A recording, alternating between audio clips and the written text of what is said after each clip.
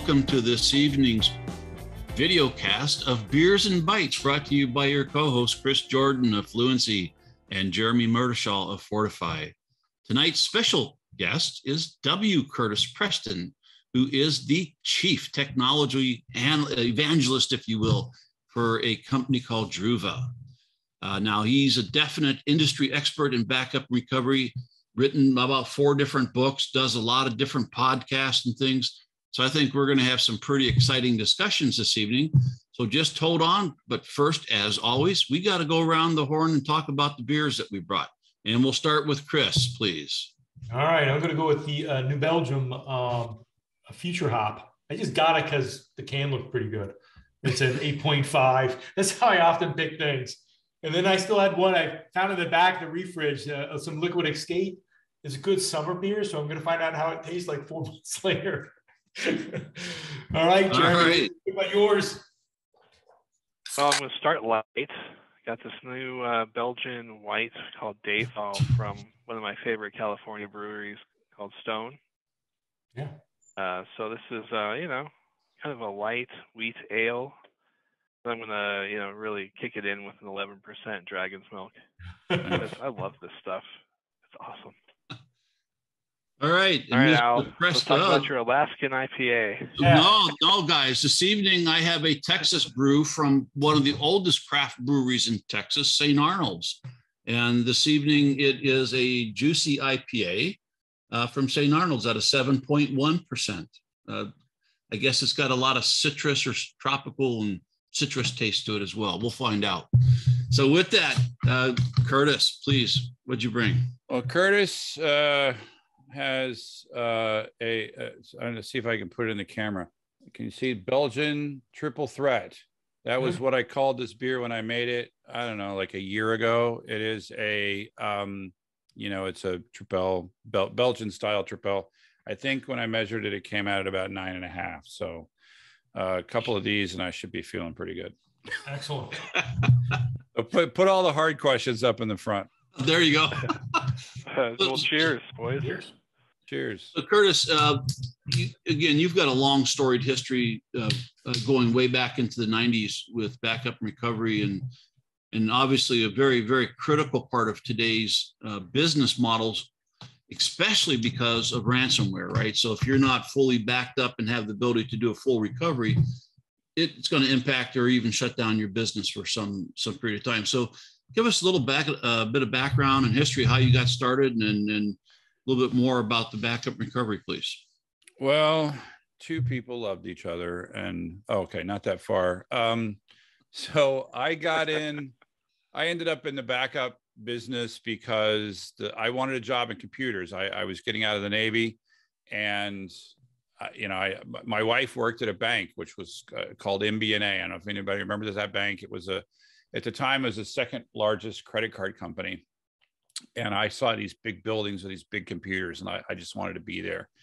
And the backups was the job that I could get. Right. That, that's that's how I think everybody gets the job in backups is it's the job nobody else wanted and i ended up there for a few years and then went into consulting and when i went into consulting my goal was to get out of backups and except that i ended up getting put at the headquarters of amico another company that's uh, no longer called what it was called.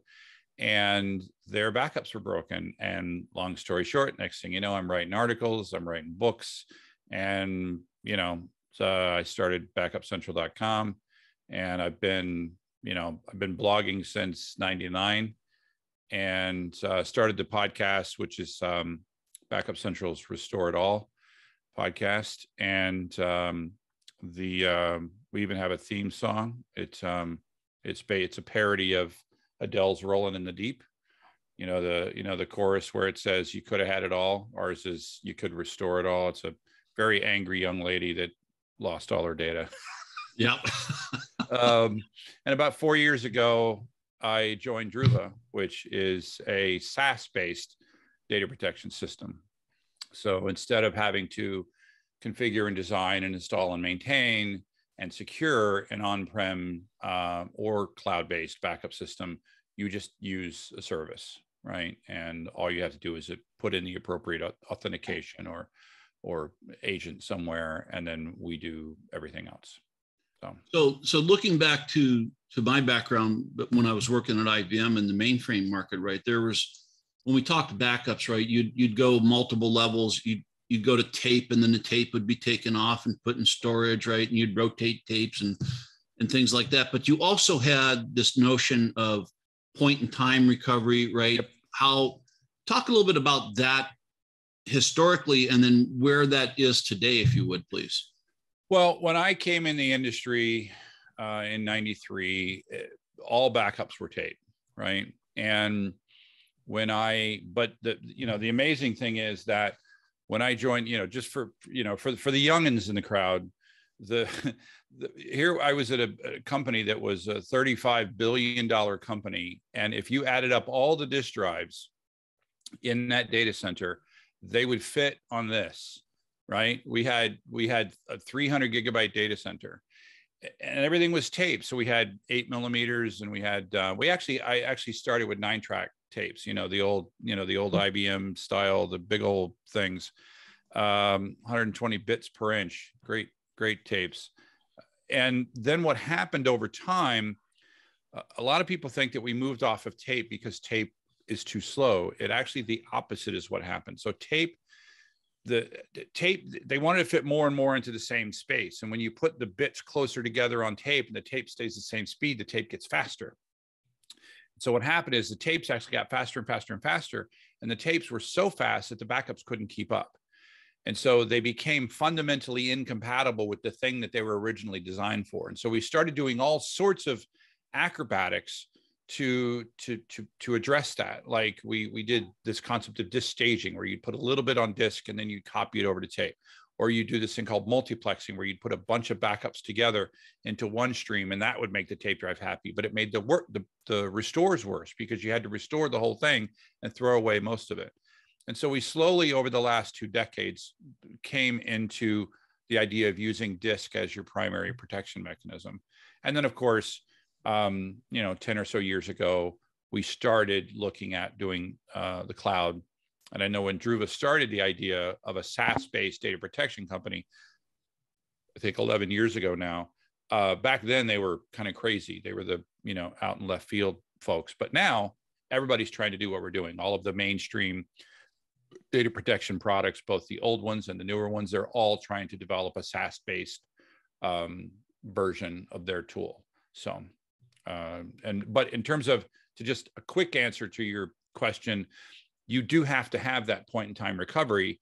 It's just now we we don't do that with tape rotation and you know and handing those tapes to a man in a van. Now we do it with object storage in the cloud and automatic replication to multiple locations. And you, you the big thing um, I'm going to cut my answer short, but uh, they're or shorter. um, at some point, we need to talk about the air gap, and that was one thing that we actually lost when we moved from tape to disk. Agreed. So, when we look at today's environment, where these ransomware gangs, criminals, nefarious states are coming in, right? Part of what they're doing to folks who aren't necessarily prepared for it is not only are they taking out their active data, but they're going after their backup data as well. Absolutely. So how how are how is the uh, security mechanism today protecting from that capability uh, from the ransomware folks? Yeah, that that that really is a real problem because I remember when the the idea of ransomware was first sort of presented to me. It was back about 2014. I remember seeing the idea of ransomware. And I think it was actually in 2015 when my dad's business partner got attacked by ransomware and they wanted $400 or something. And I remember thinking, well, people have backups. What what's the problem? I don't understand why anybody's paying the ransom if companies have backups. And what has happened is the ransomware um, has there, there were two problems. One is people did have backups, but they didn't have a good DR plan. So while they had copies and they had the ability to restore their data center, their their RTO, the recovery time objective, was measured in weeks. And so they they they would they would um, say, well, do we want to uh, do we want to spend two to three weeks and hopefully recover our data, or do we want to pay this ransom and maybe get it back in a, in a day or two? Um, and so that that was that. But then what started to happen is the ransomware products not only uh, are they targeting the backups, they're either um, they're scrambling the backups, or in some cases, like the Conti ransomware group, they go in and the first thing they do is exfiltrate all the backups, and then they delete them, and then and then they do the attack. wow. right? And they're like we have all your backups. Uh so don't even don't even try right? It's like you know um and and so it, you know it is a real problem. In fact if you read the average ransomware article you'll look just look for one little phrase and you'll see like and the backups were encrypted or the backups were also attacked. You see that phrase in so many of these articles. That's right. And so and the reason for that is the fact that we moved from tape to disk and the backups are sitting there on the disk and and quite often in in many modern day based backup systems um, it's on a windows disk right? So here the the, the ransomware is attacking windows based systems right? It, it's the primary it's not the only right? Linux is and vmware and products like that are not impervious but the primary attack vector has been windows. Somebody gets a windows laptop it brings it into the data center and then it spreads and then it spreads to this windows based backup server and then right behind that was windows based backup server is a file server with all the backups. So it's just it's just an easy peasy. There is no air gap in a modern um, data protection system and so there are a number of things that various companies have done to address that right? Um, they include things like well first not being a windows based system that's very popular. Um, using features in linux for example like the, the immutability feature in certain file systems and that will protect it from a direct ransomware attack. If you get root it won't protect you it won't protect from that because all you have to do is unset the immutability flag and it goes away. Um, and then what some of the especially the windows based backup products what they're doing is they've they're you you select you select the data that you think is really important and it does a copy of that data up to object storage in the cloud and they turn on the object lock feature and so your your cloud provider won't even let you delete it even if you're an authenticated user and that's that's about as safe as you could do with a traditional backup product um, the only way to attack that would be to compromise the account itself and actually delete the account which has been that has been done, right? Um, but it, it's pretty rare. And then finally, uh, there's what Druva does, which is you don't get any access to your data, direct access, right? The data is stored in our account behind many, many layers of security. And the only way to get access to your data is via our protocol, via our user interface, right? And so it's air gapped. All backups are stored in a completely different geo, a completely different account, a completely different technology. Um, and so that I, I think that's I think you're going to see that uh, you know more and more as as people see their their data becoming yeah that, that makes a lot of sense. And you know so my final you know comment really and i'll let uh, chris and jeremy jump in here but it people can't afford to be naive anymore about their cybersecurity period. Uh, and they especially can't believe that just because I put it on a backup doesn't mean I'm going to be able to get that back. Uh, there's got to be a lot of intelligence around that. And it, it sounds like what Druva does is, in fact, uh, one of the best practices out there today in terms of doing that. Uh, I'll, I'll tack one thing on the end, and that is if you're really going to be successful in defending against a ransomware attack, um, you really, if you're reaching for the restore button and you're going to do a, rest, a full restore of any kind, you know, pick pick whatever technology. But if you have a blank slate and you're doing the restore after the ransomware attack, I think you're still going to lose. The only way to truly be successful is to, and, and there are a number of tools to do this. Uh, Druva is one of them, where you are you're essentially pre-restoring your data you have a standby copy of your data ready to go Uh, the cloud makes that incredibly affordable and, and incredibly possible. And then, and, and it's, it's affordable because you're only paying for the storage until you need the compute, right? And then you just turn the compute on. Uh, and so I, that's the other thing. So in, in, in addition to protecting your really important copy of your data, you need to essentially restore it in advance so that you can just essentially turn it on. So, so that would be equivalent maybe to the older mirroring capability. Well, that... it's it's it's mirroring with a delay. Got it. Right. uh, mirroring and and and replication direct. Re- the problem with that is if you get corruption on the primary, it corrupts the the secondary.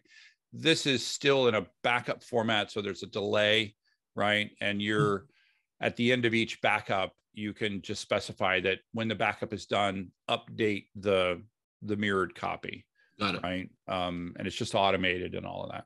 Okay. Well, listen, I'm gonna take a breath here and let uh, Chris and Jeremy jump in with some questions. No, what you need to do is take some shots. you open the beer, but you never drink it out. Come on.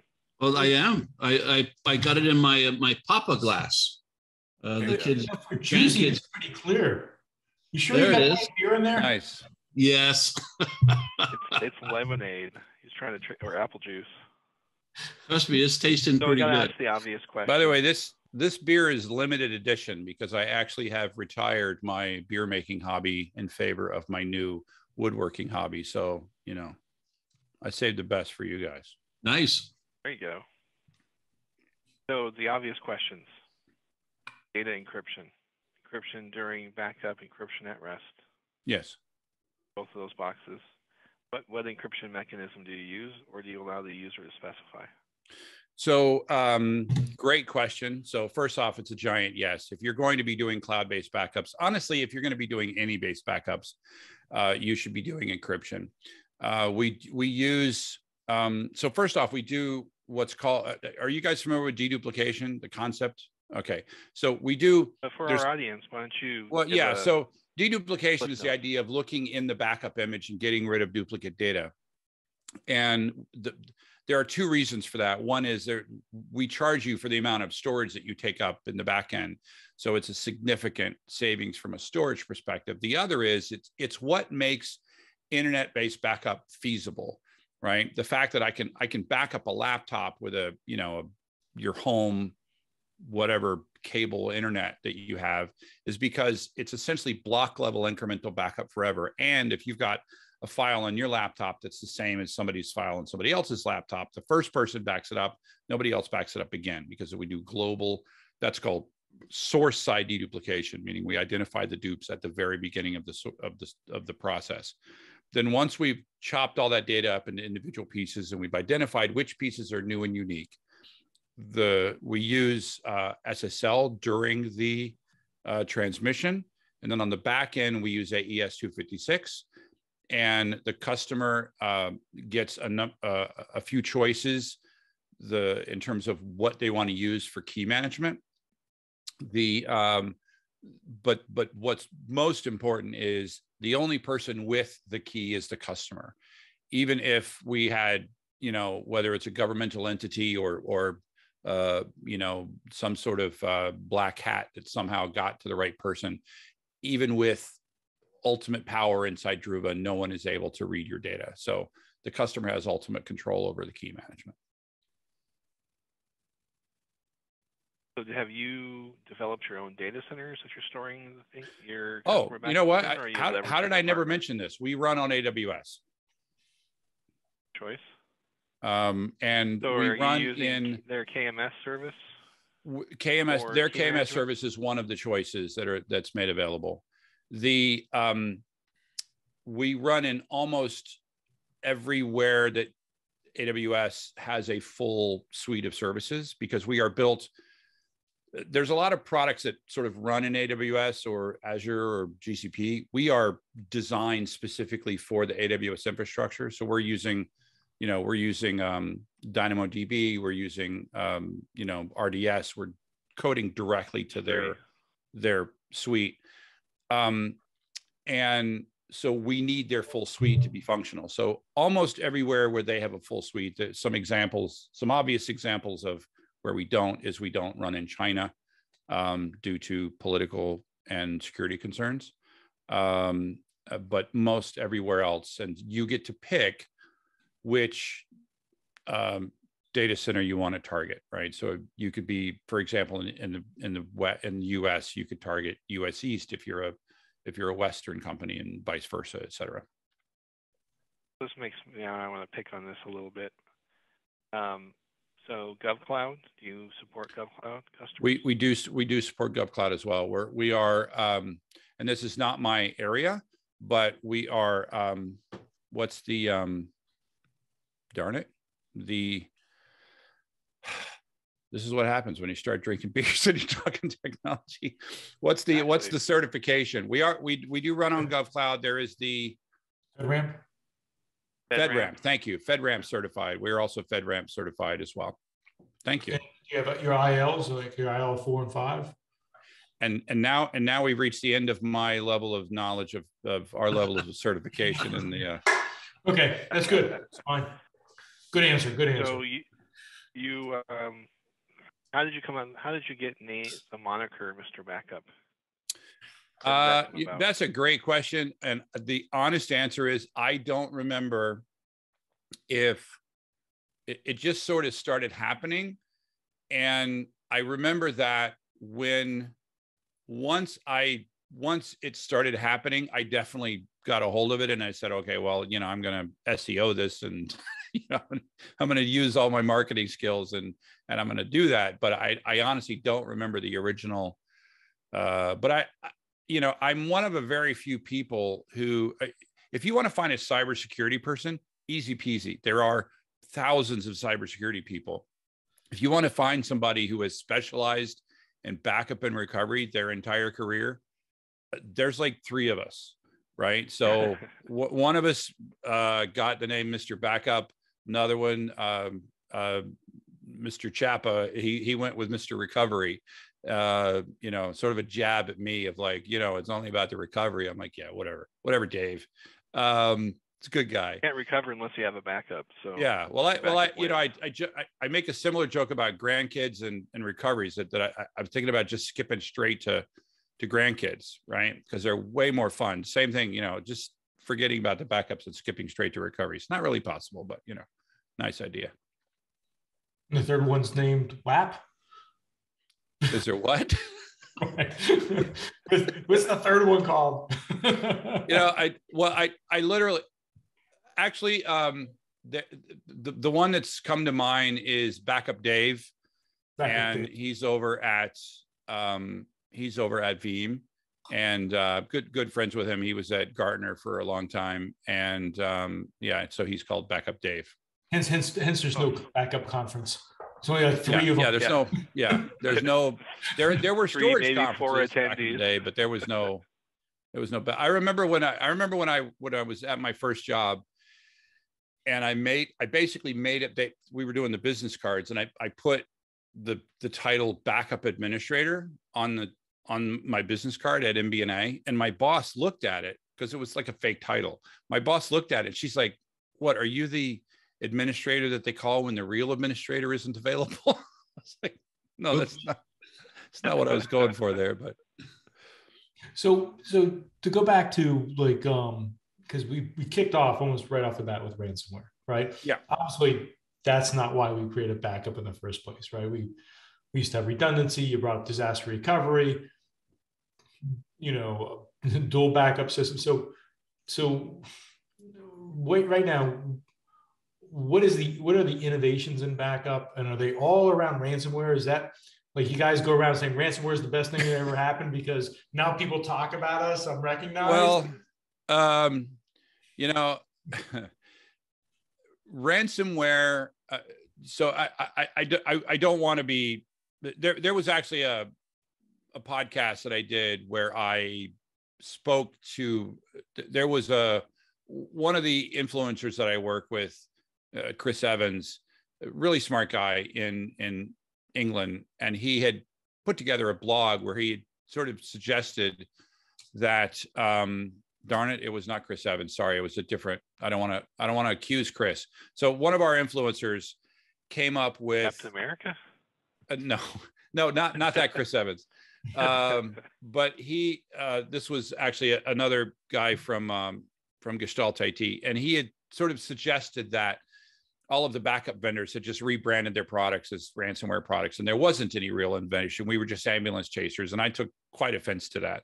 Um, one is it's like, well, it is a new problem, and we need to help people understand that there is a solution to this problem, and we we do happen to have the solution. So, yes, there's been a lot of you know opportunism if i could you know say that word but there's also been a lot of innovation around specifically around ransomware but I'd say the innovation in the last several years has been um, first off, it's been either just making backups uh, just way easier than they used to be. For many, many years, backups were one band-aid after another, right? We got disk, we got disk caching, and that was a band-aid. We got then we got target deduplication systems like Data Domain, which is, you know, I'm not dissing the product, but it was essentially a band aid. It allowed you to continue doing what you were doing, but use disk, but in a more affordable, affordable way. Um, and then the other innovations that have happened over the last 20 years have been to address new problems, right? So VMware uh, and Hyper-V and KVM, these were all new problems because basically VMware came out and it broke backups overnight. Um, and the other thing, the, the, the, the, latest thing that broke backups is um, Kubernetes and Docker, right? It, it broke it way more than, than VMware did. And before that, there was the cloud, because up until just a few years ago, we had a data center, right? And we called it the data center because it was the center of data. And now it's no longer the center of mm-hmm. data.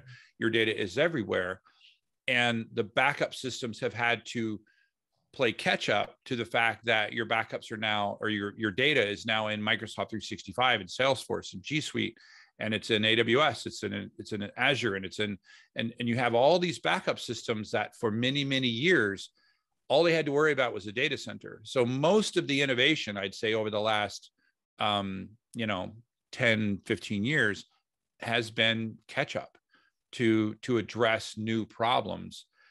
But there's also i know in the case you know i'll, I'll speak for druva we innovated in a way where what we did was we made a SaaS based backup system possible, right? Because we're not the first. Uh, in fact, I remember when I was interviewing for the company and I and I talked to one of our really sharp SEs and I said, "Why will we succeed in this industry where so many other companies have failed? And the answer was that we had figured out the COGS, right? The, the cost of goods sold. We were leveraging the cloud the way it's meant to be leveraged, which I would argue that the way to use the cloud is bursting, right? And the way to use the, another way to use the cloud is to pay for things as you use them right? Lifting and shifting into the cloud is not using the cloud. It's just you're just renting data center space. But if you have an app that just makes a database update, you know, once a minute, well, you don't necessarily need a database. You need a database service that charges you for each update. And so we just completely went, you know, from scratch to design a system that leverages uh, the way the cloud works. And so that that was our innovation. And um, just to give you one example, so it, it both we both leverage the cloud from a cost perspective and also leverage the cloud from a technology perspective. So a perfect example is DynamoDB, which is a giant, essentially infinitely scalable key value pair database. One of the things we use it for is that dedupe uh, database. Every other dedupe product in the world has a dedupe table and it hits some number. You know you, you have 100 terabytes and you have to stop and you have to go make another box because the dedupe table can't keep up with all the lookups. We use dynamodb.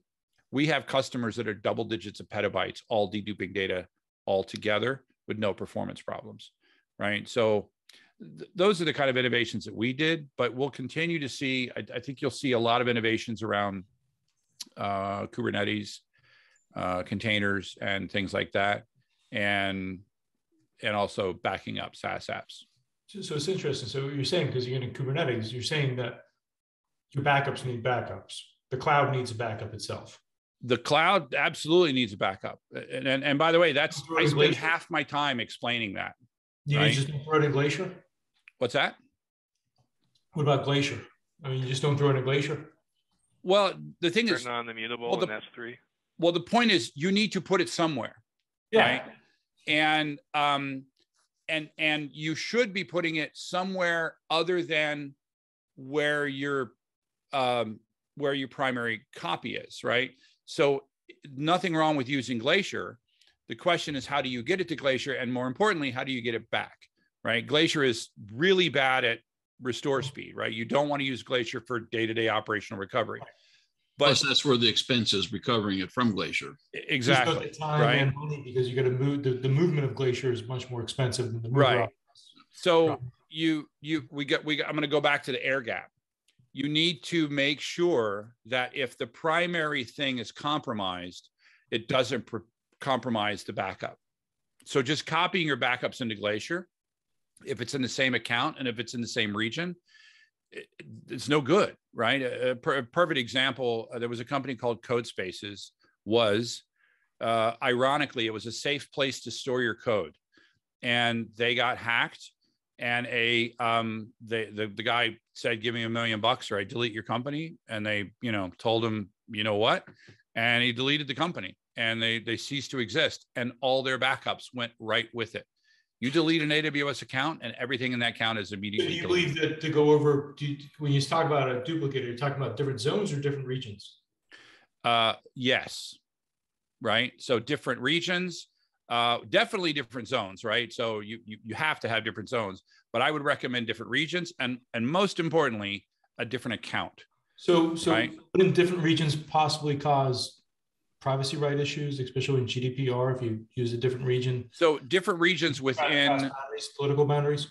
Yeah, different regions within uh, within reason, right? So if you're if you're in a if you're in a um, a government where that's not possible, right? Then you do what you can, right? You get it to another availability zone. But again, I'm going to go. Most importantly, the backup copy needs to be in another account, mm-hmm. right? Um, because if your primary account is compromised, your backup account wouldn't necessarily be compromised. And again, that's automatic if you use a service um, like ours. But if you're going to do it yourself, you need to do that, and it and it is harder to do it yourself. The the other the part where I actually find myself arguing the most on whether or not this is even necessary is when we talk about something like Microsoft 365. They have protection mechanisms built into their system. But in the end, 365 from a customer spec- perspective is really just a very fancy database with an application on top of it. And when you delete an email, you don't actually delete the email, you set the deletion flag in that record, the database record for that email. And um, if you use their retention policies to keep it for 90 days, then all you're doing is setting that retention flag for 90 days. You're not actually making a backup. And so, if something catastrophic, or I would say when something catastrophic happens to your account, you will not be able to recover that data if you're using only 365 tools. And but there are there are people that do not agree with me. There are smart people that do not agree with me. No, it sounds um, like you're talking like a, a professional backup guy, right? I mean, that's your objective, right? You want to make sure you, you everything properly backed up yeah i mean it, it's what i do right? Um and the there are those who are sort of 365 it's specifically with microsoft 365 i don't get this argument in salesforce. I don't get this argument in g suite but 365 has so many good sort of what i would call convenience restore features that it mimics backup, but it is not a backup. And what I would tell to anybody who disagrees with me, please go look in your service agreement and look for words like backup, restore, recovery. They are not in there, right? Um, there is something called the shared responsibility model. Literature used to say that our applications cannot be used for critical use, which, anyways, yeah. What are you going to say, Jeremy? I mean, I think, as I Curtis, you really hit it on the head there. It's the shared responsibility model of the cloud. Microsoft will guarantee deliverability of their mail. They will they will guarantee certain underlying functionalities, but if you're if you hose your mail system and you lose all your mail, they're not giving it back to you. Exactly. So at the end of the day, it's still the customer's responsibility to back up the mail and more importantly, to protect the mail. That's a different episode yep. on a future date. Yeah, that's a different. It's a great episode to come up. We got to find someone to do it because I mean that is you know one of the things you talk about. I mean Curtis left field thing is like on the mail system. A lot of people use MX record guards like MX firewalls to protect their mail. Uh, there's a lot of services around Microsoft that need to be built. It's it, we're not there yet. I mean, there's a lot of things we should be seeing around the corner. Well, and and you probably have the problem in the cyberspace that um or cybersecurity space that we have in backup space is a lot of people made the justification to buy 365 by saying, well, we don't have to do all these things anymore. we used to have this, we used to have this firewall, we used to have this, you know, MX guard, we used to have backups. We don't have to have any of that. Microsoft solves all the problems. and you know, you know, it's a it's an incredibly resilient piece of infrastructure, but it is not, you know, as long as computers are built, maintained by people, you know, even if they start being maintained by robots, if those robots are built by people, right? Exactly. Mistakes happen. So, so one of the things you brought yeah, up, I mean, is... Office 365 really pushed the Exchange admin role out right? That there's it's very un, unnecessary role to have organizationally anymore. Now you need a cloud admin, Azure admin, something like that. Yeah. Does GCP admin and, and G Suite admin. It's less about managing the software mail system itself and more about managing the mail. Yeah, it, it's about it'll be about permissions, it'll be about groups, it'll be about you know, do we want to give OneDrive access to this group of people or this group of people?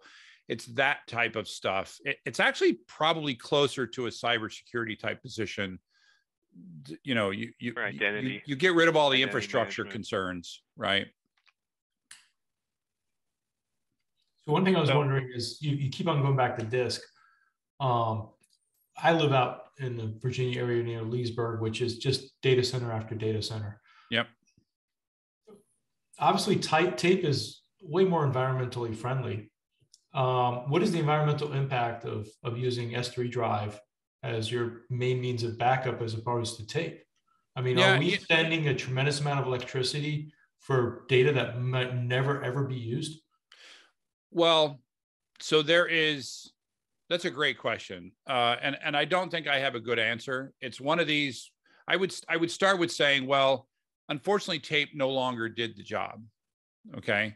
Um, th- th- we, we have to start there. Tape for most environments um, is simply incompatible with the, the thing for which it was originally designed. And, and that's a technical problem that just simply has no good solution. It's great for long-term archive, by the way, right? Um, and so really we had to use disk. So what you do is you just minimize the degree to which you're using disk. You use things like deduplication because you can do dedupe on disk versus tape. You can't really do dedupe on tape because if you need if you did dedupe on tape, you would need 400 tapes to restore one file. That doesn't work, right? So we can do dedupe on disk.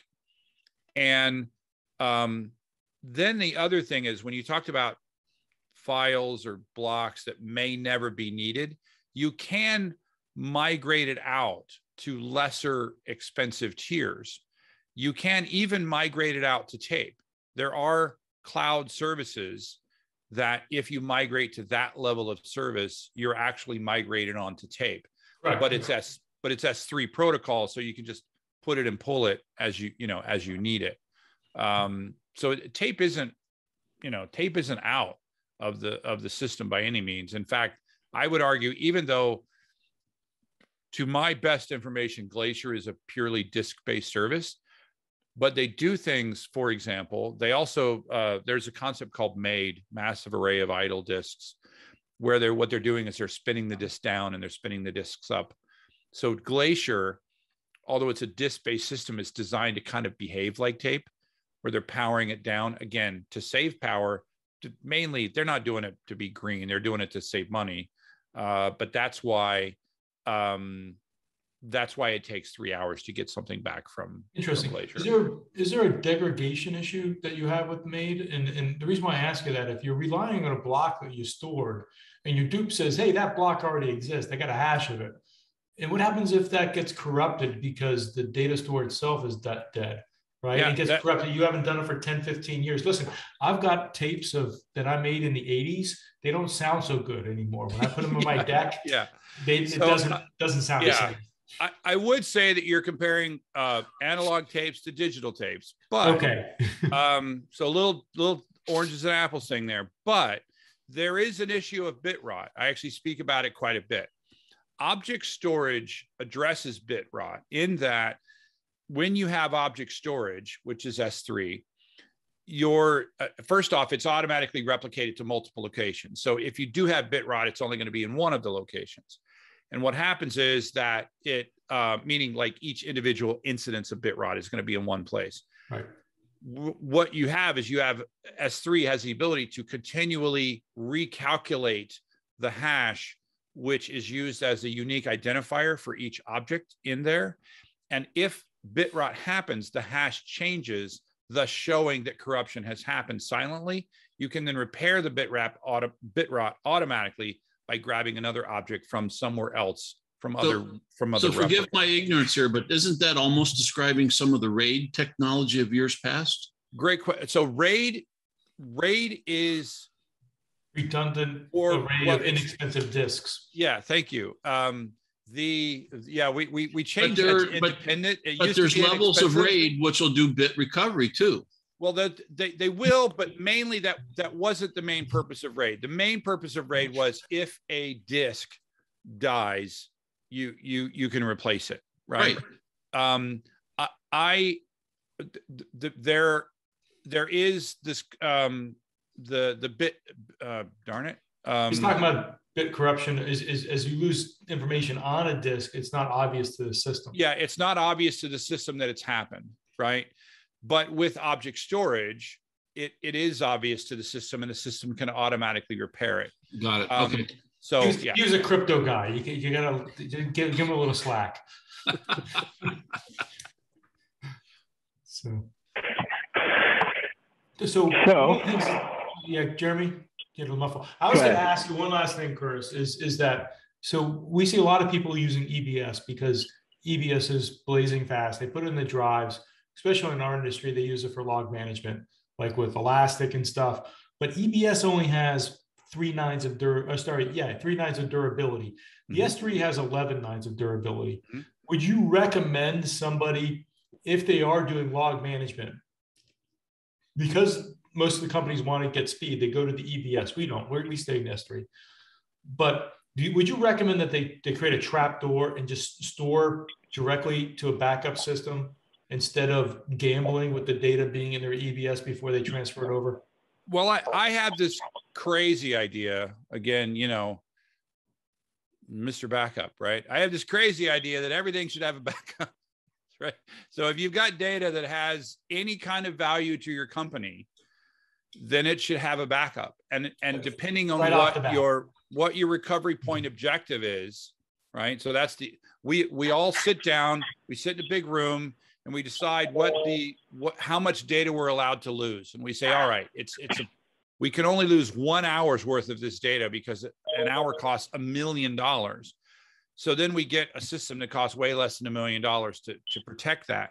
So we all agree what the rpo is and then something less than the rpo you should be frequently copying that data to some other system in terms of using S3, there, there are plenty of systems actually that use S3 as their primary protection mechanism.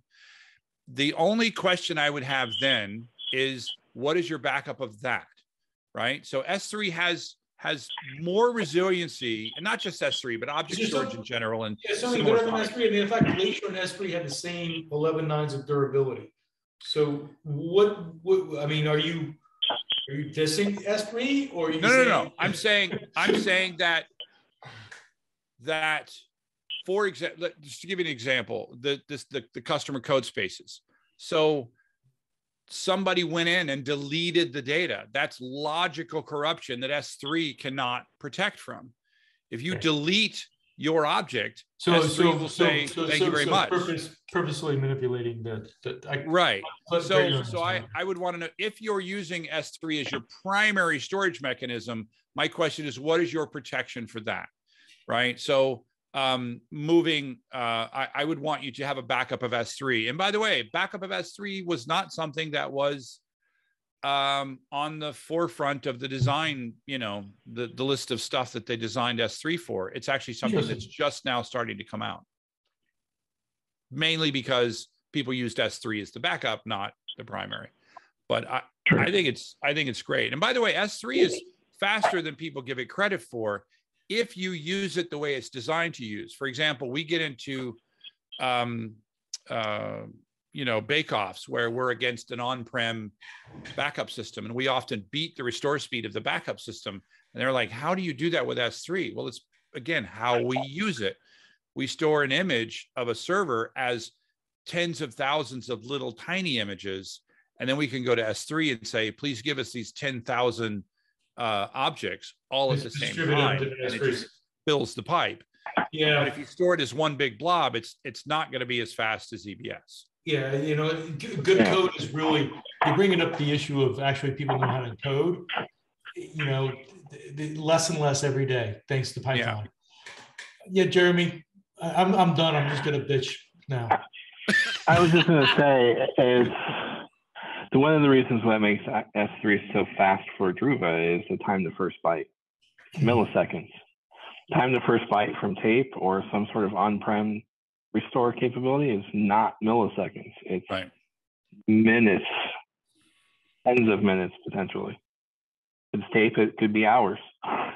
Yeah. Yeah, but I think, you know, as part of a strategy of backup, having an air gapped copy off site, whatever, would make sense on a tape, right?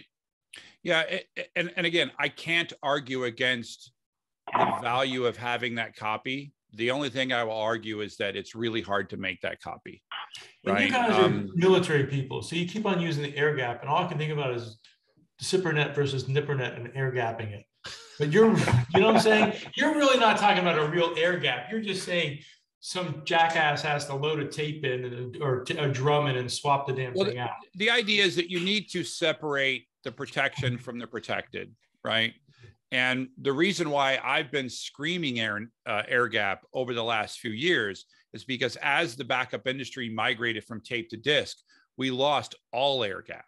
But right? you kind of created like take Trubo, right? Because we do the same thing. And if you ask me about our database, I'd say it's immutable and you're doing it because of the APIs. So, mm-hmm. so what you're talking about is if I remove the function or remove the function so you cannot delete, you don't really have to have great technology. If the only way to touch my system is through the APIs and there's right. no delete API, right? I'm pretty good.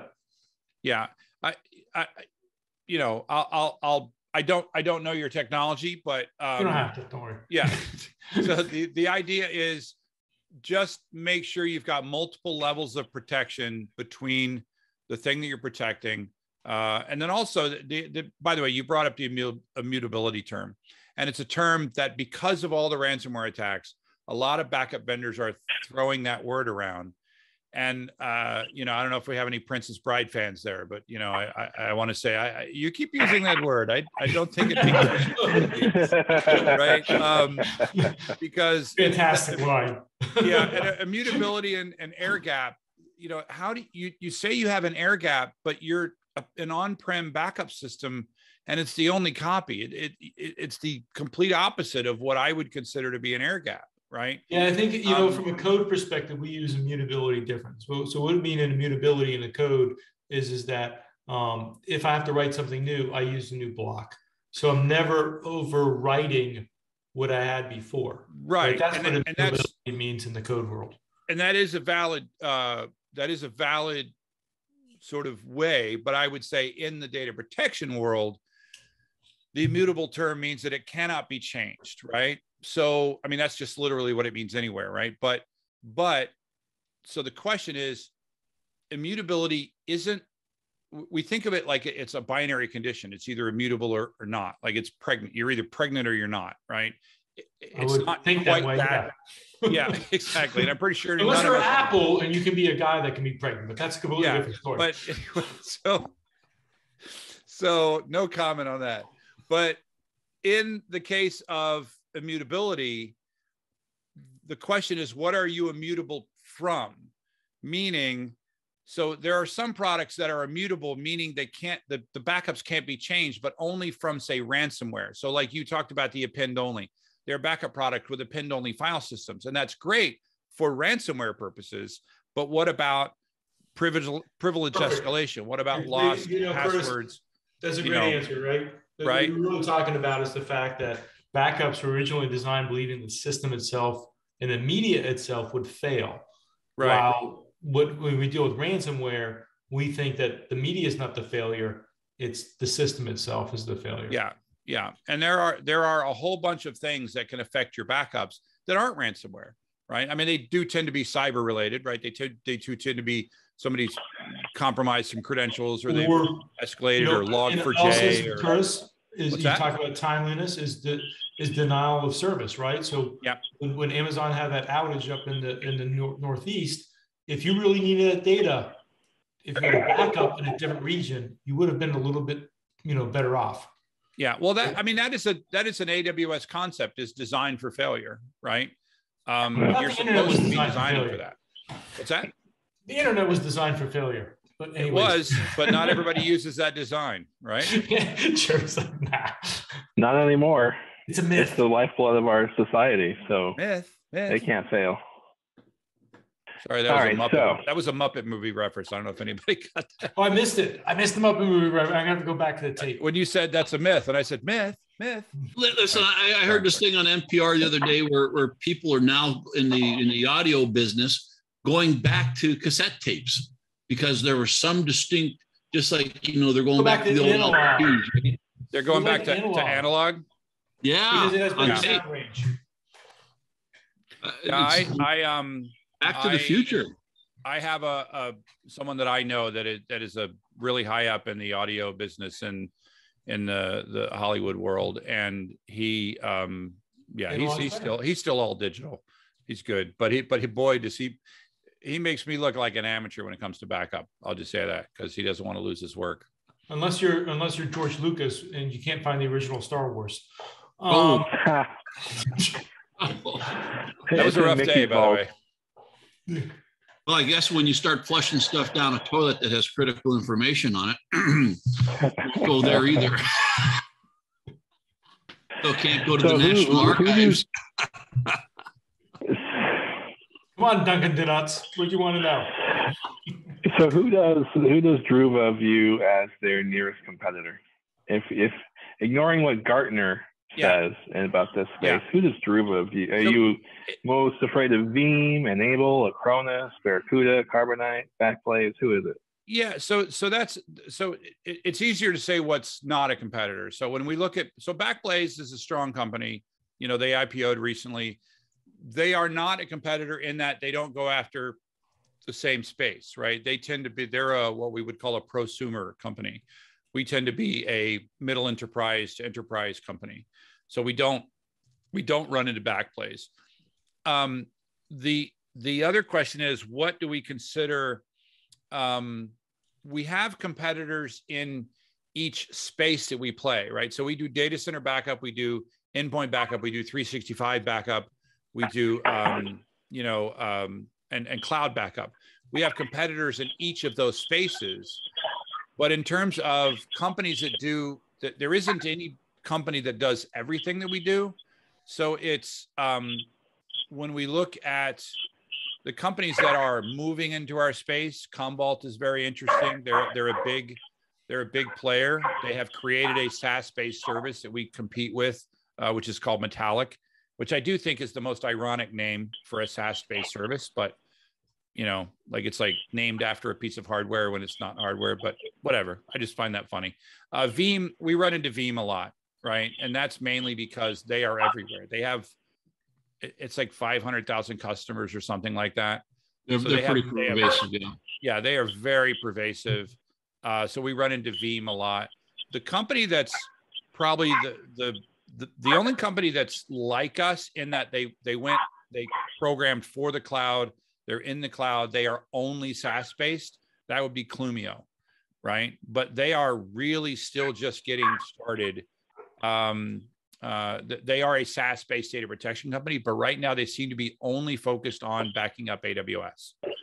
Um, and I, I think they tried, you know, I don't want, you know, this is my opinion. It looks like they might have tried to boil the ocean in the beginning and they backed off on some of the workloads that they were protecting and said, you know what, we're not going to do all of this all at once. We're going to, we're going to focus right on uh, 365, right? Or, or I'm sorry, AWS. They also do 365. as well. How has Dell's investment in Druva changed the product market, product development, or product landscape that you guys have put together? How, how has what investment? Dell, how has their investment in Druva changed your culture or your product market? you know we, i mean we are we are a typical startup right we have had multiple rounds of investment over time uh, and it I, I don't think there there was one pivot very early which was we used we were not a SaaS based solution. We were an on-prem hardware solution. That was many years ago. We made that pivot to the cloud something like eight years ago maybe. Uh, once we made that that pivot um, really the only changes over time have been the addition of, of, of additional workloads things like 365 things like kubernetes and what we do there. So there haven't been any fundamental like uh, massive shifts of how we do things it's just oh we now protect uh, you know, the hypervisor from, you know, the Acronis hypervisor AHV from Nutanix. Um, but we don't, um, we haven't had any massive, you know, stuff like that. Not to nitpick, but it's Acropolis, What did I say? Acronis, Oh, Acronis is another, which is a that's another competitor. competitor. That's funny. Yeah. Acropolis hypervisor. Thank you. AHV. Um, yeah which at this point by the way we just we just sort of we sort of soft announced the rahv support this month uh we're, we're just in a couple of regions so we're doing a, a soft rollout of that feature and then uh, i think our full support is next month Does your product work with the or plug into the Dell Data Protection Suite? uh the did, did i did, okay did we pay you to ask this question Yeah, the dell data protection suite is And, powered by um, druva Yeah, if Yeah. you could just we are we Right. are the dell data protection suite Send your checks to right? PO Box specifically- Beers and well Bytes. specifically maybe the, want to hit last bottles of that Belgian triple Yeah. fret, you know. specifically the the Apex Dell. Uh, I don't the, the official branded name, but their data protection service that they sell under the Apex brand. That service is powered by Druva. Can Druva write to data domain? Uh, no comment on that one. We just lost our check, Jeremy. Thank you. There you go, Jeremy. There goes another Um, sponsor. It's the hard Yeah. question. So so I I'll, I'll just say I, I I will say we are examining that possibility. So so so look at this way. We don't require an on-prem piece of storage.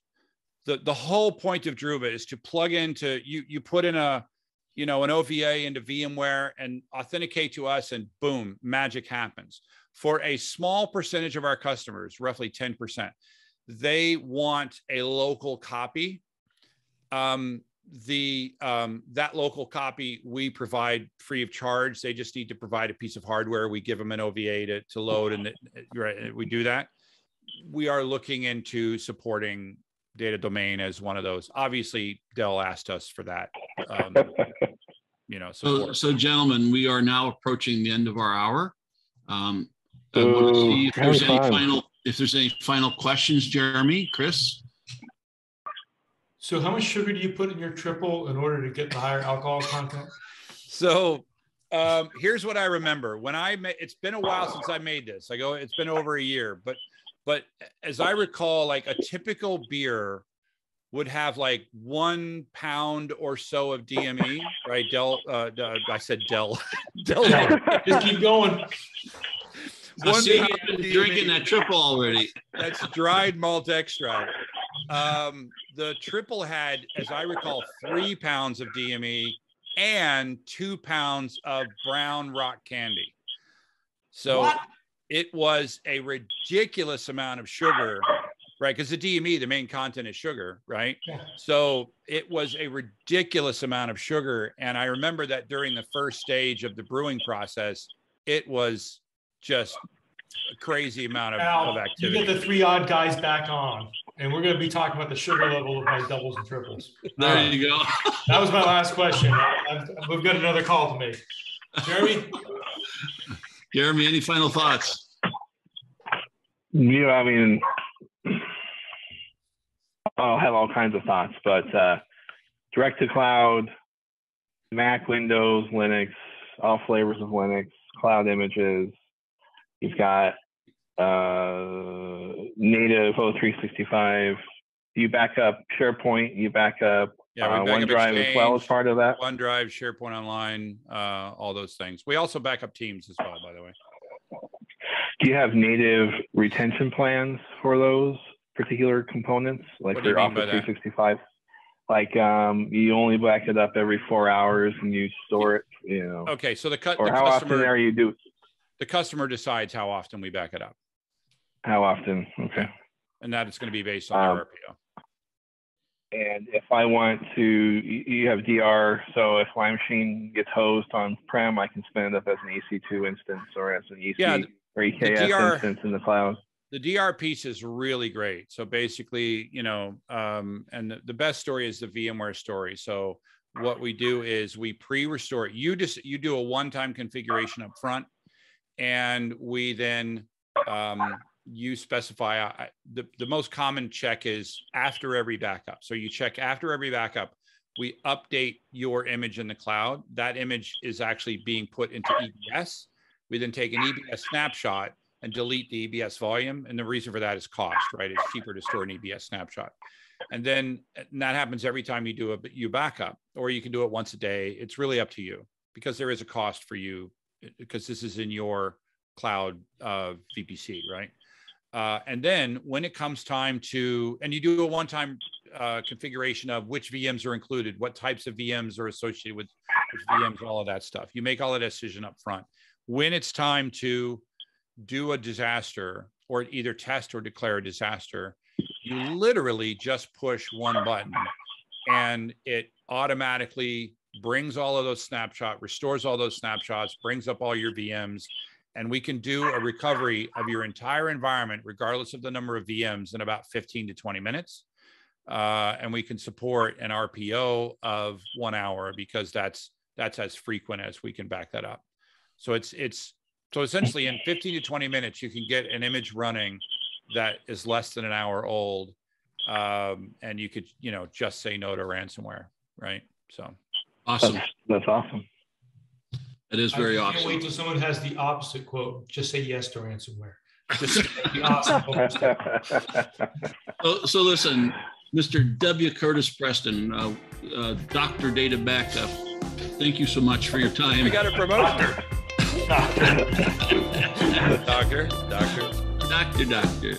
Listen, thank you so much. We uh, sincerely appreciate it. Very much enjoyed speaking with you. Uh, if you'll hang on for a moment, uh, we'll go ahead and uh, stop the recording. Happy to be here.